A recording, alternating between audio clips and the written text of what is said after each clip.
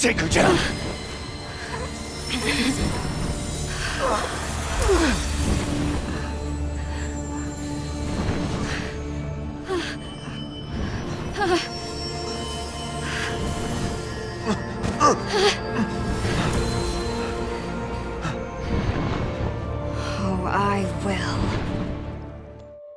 Rose Winters is one of the most powerful characters we have ever seen in the Resident Evil franchise. This was proven with the abilities that she's shown during her starring role in the Shadow of Rose DLC, where we see the culmination of someone who is a chosen progeny of the Megamycete, displaying abilities that are comparable to the likes of Resident Evil Village main antagonist Mother Miranda, I will take what is due. and also other main antagonists from Resident Evil 7, Eveline.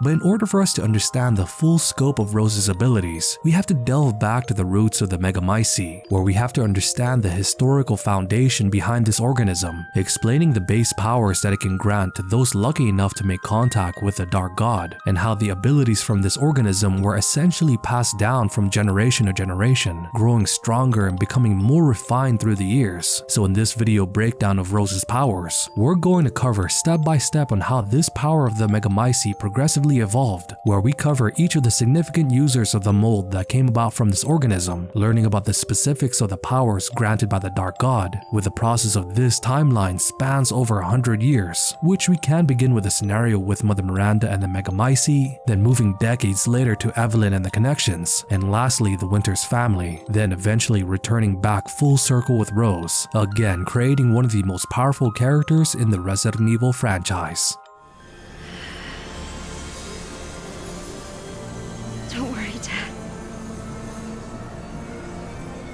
Got this.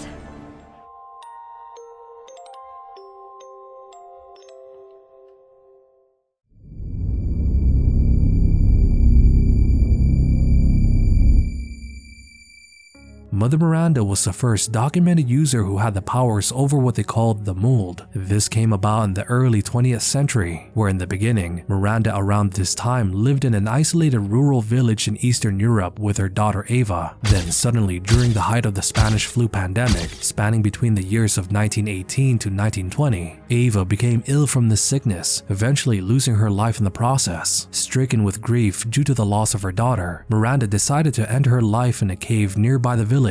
Then, completely by accident, she discovers the Megamycete, which she recounts this specific event in her diary, where she documents her chance discovery of the Dark God, what came about after, and her summary of important events that transpired throughout the course of her life, where it reads, My Eva, it's been 100 years since I lost you to the Spanish flu. I was so powerless back then, but now, now I can bring you back to life from the Megamycete. After I lost you, I was so stricken with grief that I wandered into a cave to die. I so wanted to be with you again, and that's when I found it, the Megamycete, completely by accident. When I touched the black substance, my mind was overcome with knowledge. The Megamycete breaks down and absorbs the consciousness of those who have perished. I knew that if your consciousness was in there too, then there would be a way to bring you back. I just needed the right vessel.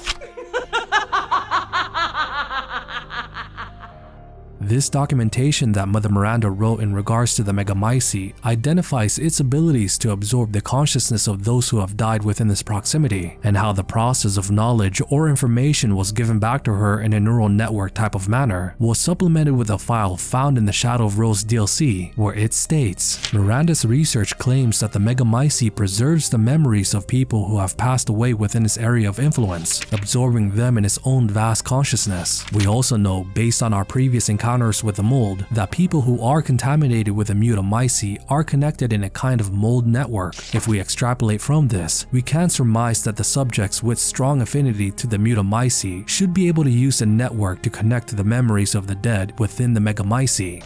To ensure I never see your face again, I will feed you to the Megamycete.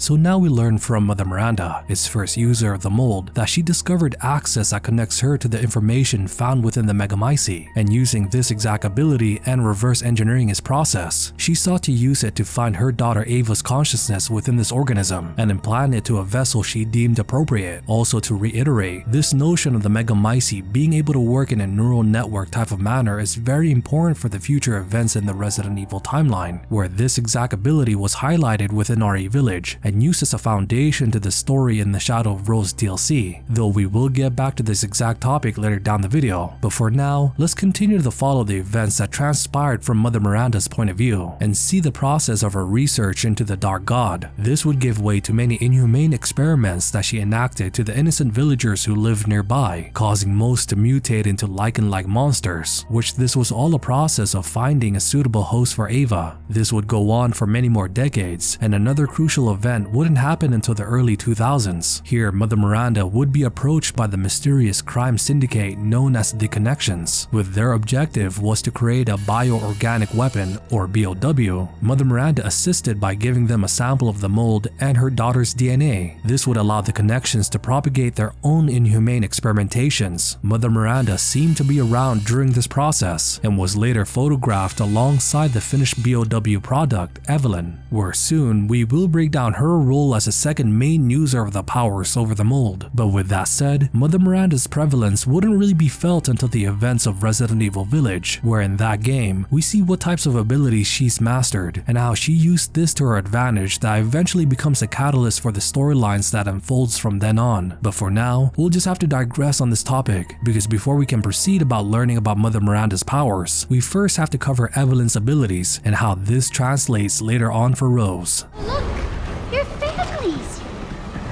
Enough of this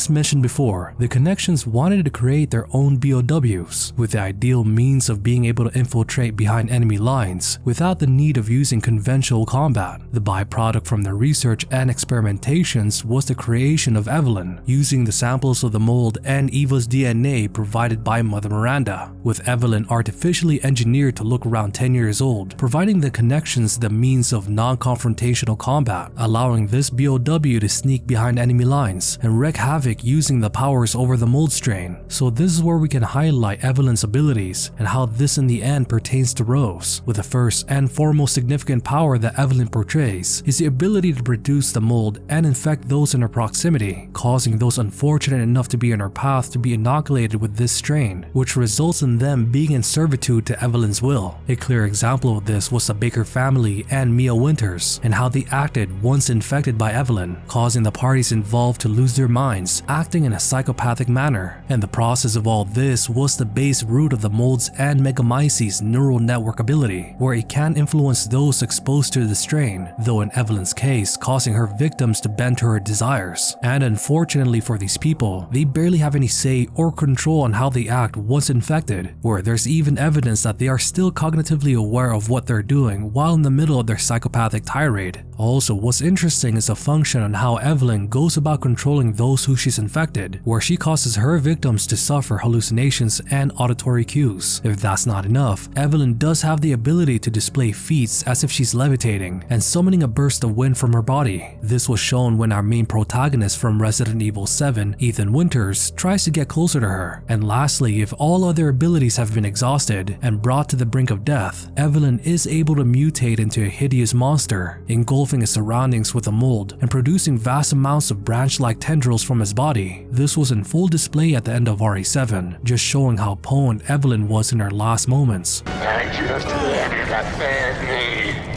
But with that said, the inner workings of Eveline's mold and the process of her pathology from the mold infection was supplemented with further documentation found in this game, where it notes in details the working of those exposed to the mold from the E-type series BOW like Evelyn, where it states, Initial infection, the mold ingests nutrients from the subject's body to propagate itself, and slowly takes over cells within the body. As a side effect of this, the infected subject gains remarkable regenerative abilities. During experiments, we removed arms and legs from the test subjects and found that they were able to co-opt the amputated limbs in a matter of minutes. Mid-stage infection. Once the mold reaches the brain, the subject's thoughts become in tune with those of the E-series asset. If this state continues, the host will lose all sense of ego. Complete infection. After every cell in the body has been taken over by the mold, the subject begins to lose their human form. Physical mutations differ from case to case, but all result in him or her acquiring incredible physical strength. Containing a subject at this stage would be extremely difficult. They're mine now.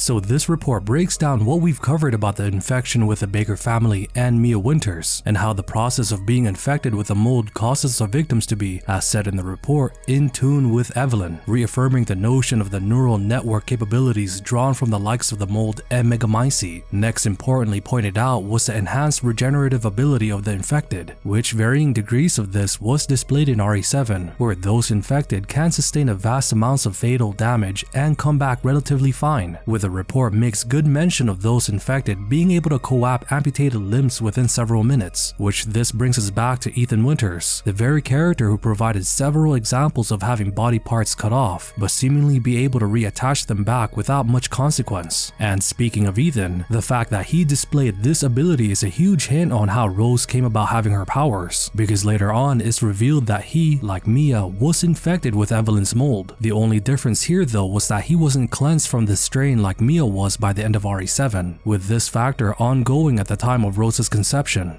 Is there something you're not telling me? So with that said, the root cause of all this goes back in sequence from the Megamycete, Mother Miranda, Eveline, and the mold strain, giving us the information that helps us understand the foundation to Rose's powers. I'm tired of being a freak.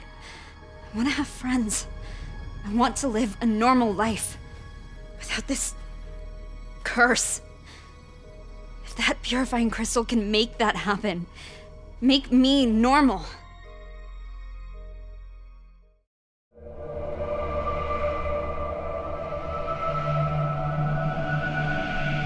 As I touched on in the previous chapter, the circumstances surrounding Rose's birth was crucial to know, where it was revealed in the latter part of Resident Evil Village that her father Ethan was a mold being. Of course, the innate abilities that we've covered so far would be present with Rose, with Mother Miranda, who as main antagonist of this game commented on Rose's potential, stating,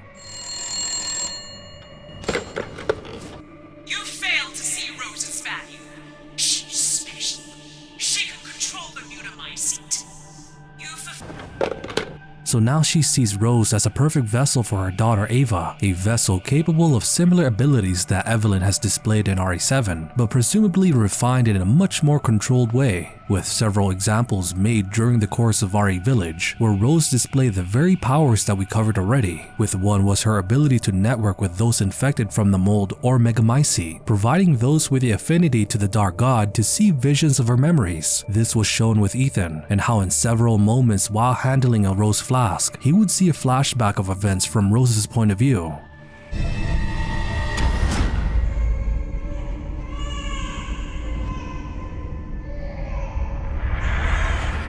And speaking of a rose flask, this brings us to the next ability that she's displayed, which was her innate powers of regeneration, because during the course of RE Village, we learned that Rose was abducted by Mother Miranda. She then caused Rose to crystallize and promptly split her into four different portions, placing these divided parts inside the flask, hence the Rose Flask. So now whenever Ethan made contact with these items, he gave him those visions of Rose's memories. But what's more was the fact that even when crystallized and split into four parts, Mother Miranda assured us that she would still survive this ordeal and come back relatively normal. She was quoted on this in one of the files found in the game, where she states, This is the chosen child. She will return to her original form no matter what befalls her.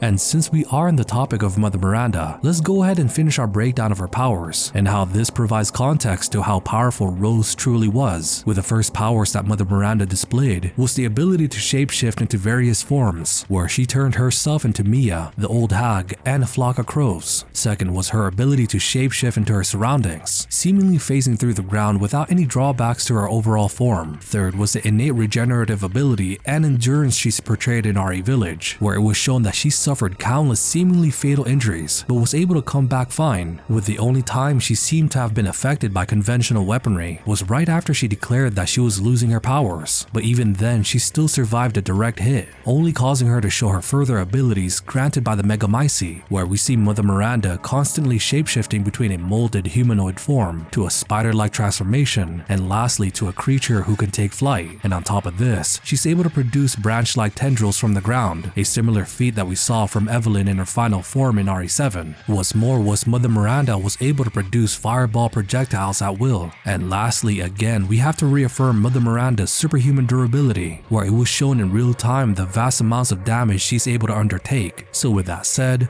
all these abilities are just a precursor to the final product that we see with Rose, where in the Shadow of Rose DLC, not only does she deal with the likes of both Eveline and Mother Miranda, but also she shows a progression of her powers found only when she delves into the realm of the Megamycete. I can show you things even Chris doesn't know I can do.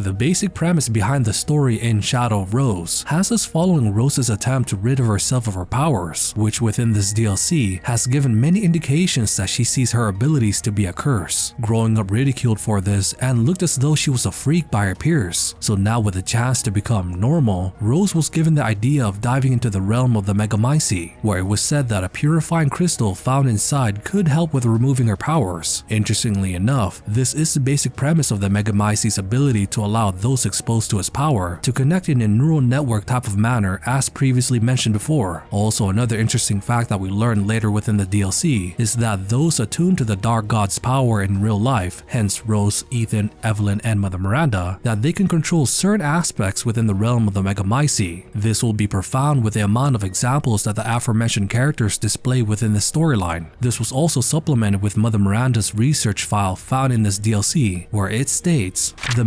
Megamycete absorbs the memories of all life within this reach, but there are laws which govern this world within it. It seems worthwhile to catalog them as they become apparent. Number 1. The memories that comprise this realm do not strictly reflect reality. Number 2. Only those who are attuned to the Mutamycete in real life retain control of their faculties here in this realm. This aligns with my understanding of the Megamycete as revealed to me in its visions before my death. Yes, my death. My physical body is gone, into the Megamycete, and yet I do not despair, for this fate has granted me fascinating insights. All those years I strive, have continued to strive, they are not for nothing. The memories, the consciousness, understanding, and knowledge I accumulated in life have transferred here to the Megamycete, where it serves as a source of power within this realm. If I can harness this power, I believe I can use it to affect the thoughts and memories of others. So with that said, we have a great basis of understanding on how things work when Rose finally delves inside the realm of the Megamycete, helping us understand how her powers will grow as we move along the storyline. But of course, as mentioned by the file, the gameplay we see may not reflect reality in its entirety, bringing forth the more bizarre and supernatural aspects to the front, allowing us to see by the end how all this culminates in unleashing Rose's true powers. But at the moment, we first begin with the latent abilities that Rose displays early in the story. This was highlighted when she was attacked by monsters called face eaters, where she was able to repel them to a certain degree.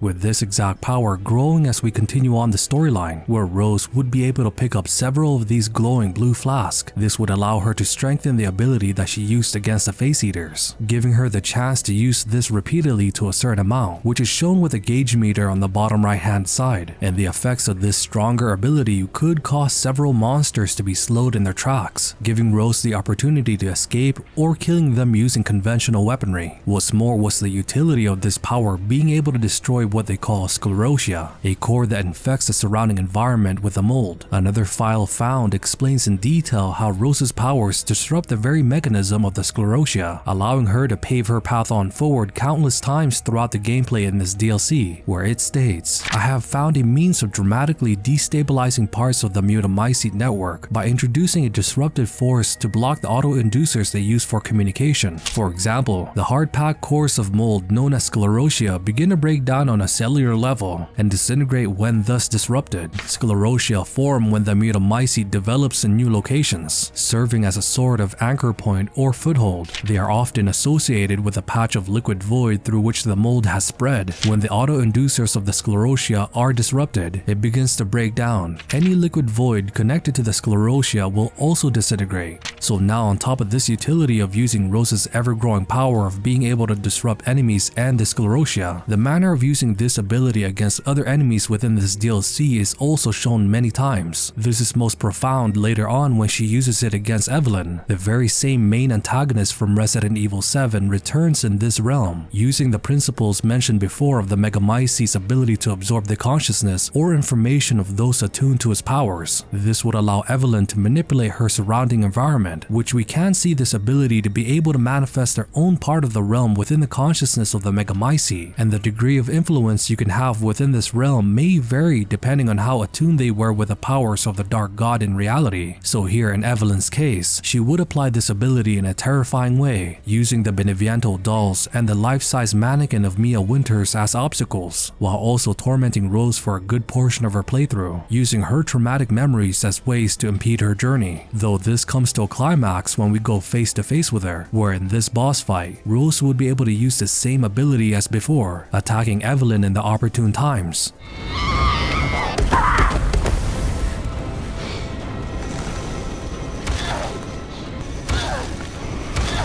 And by the end of the battle, we see an interesting aspect to Rose's powers, where it would work in sync with the abilities from quote-unquote Michael, a being who up to that point acted as a guide to Rose as she delves deeper and deeper into the consciousness of the Megamycete, providing her with advice to navigate her way throughout this realm. Who are you? M- My guardian angel? But this time against Eveline, he provides Rose an additional boost to her powers, allowing her to subdue the bioweapon. I can't believe how useless I am. No wonder no one loves me. What now?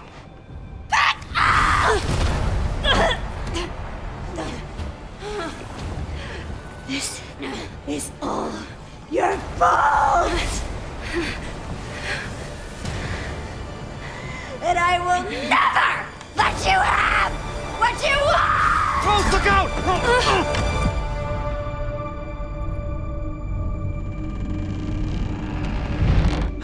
Don't give up, Rose. Find that crystal.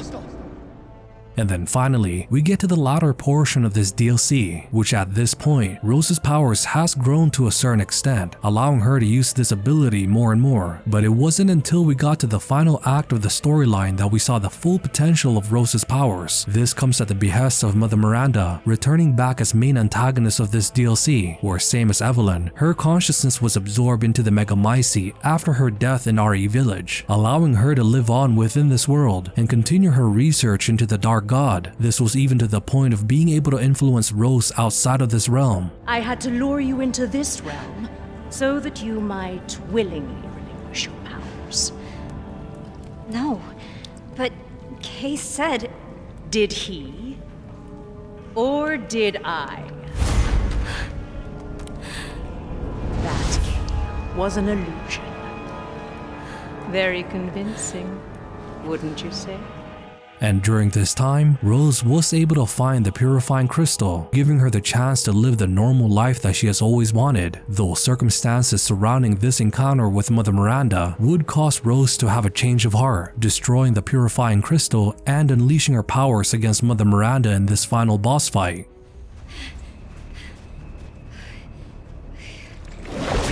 You can't escape Rose.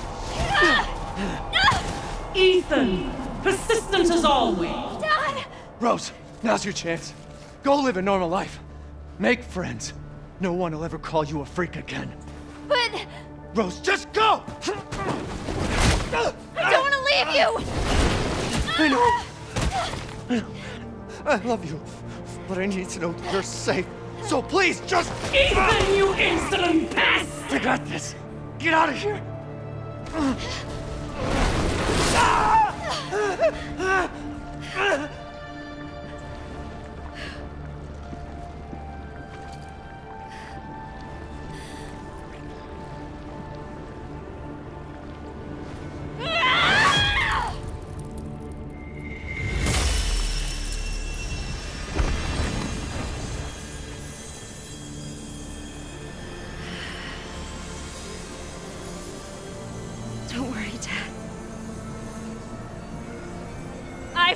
this!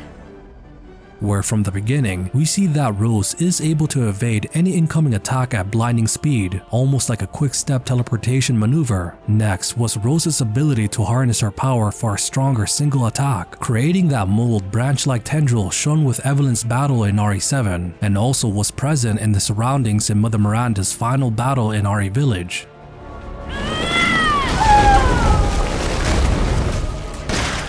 What's more was that Rose now has the ability to repeat these stronger attacks by absorbing Mother Miranda's projectiles, and in doing so replenishing the gauge meter on the bottom right hand side. Also Rose was still able to use the utility of subduing Mother Miranda with the same ability that she's displayed throughout this playthrough, as long as we aim and focus on the general proximity of her body without interruptions for a short time, subduing her enough that allows Rose to use conventional weaponry.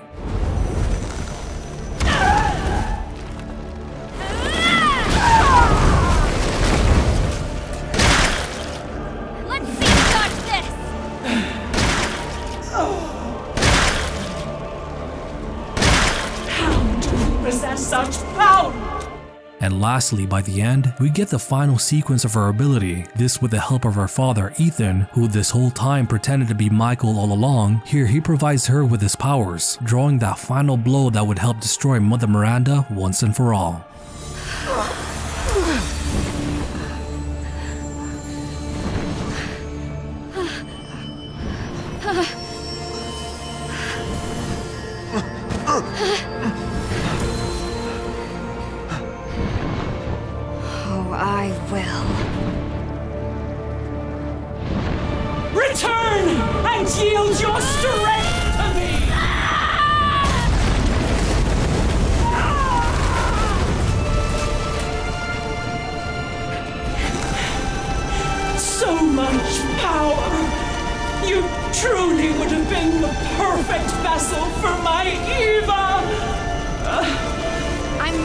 Goddamn vessel. Not some stupid copy. I'm me! Rose. And you're done.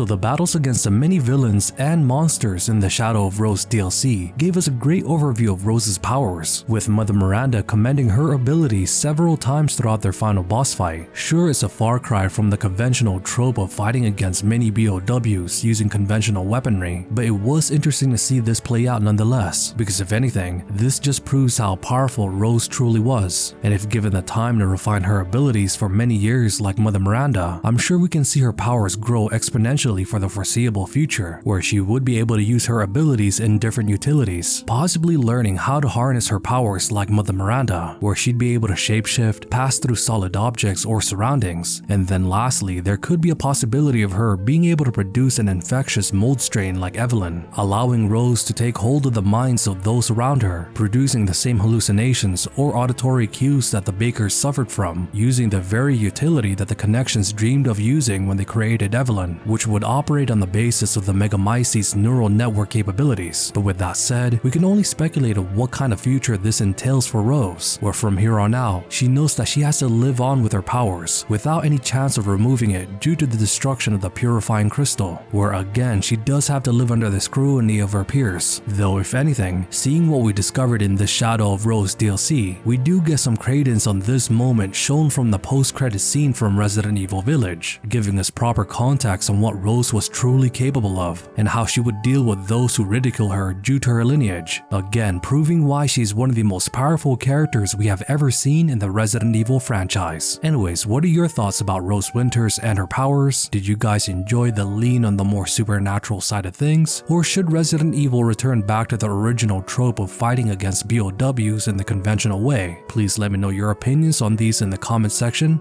down below. Also, if you guys enjoyed the content, then please feel free to like and subscribe for more videos like this in the future. Anyways, thank you guys so much for watching, and as always, you guys have a great rest of your day, and this is HeY DeVuH, and I'll see you guys in the next video. I can show you things even Chris doesn't know I can do.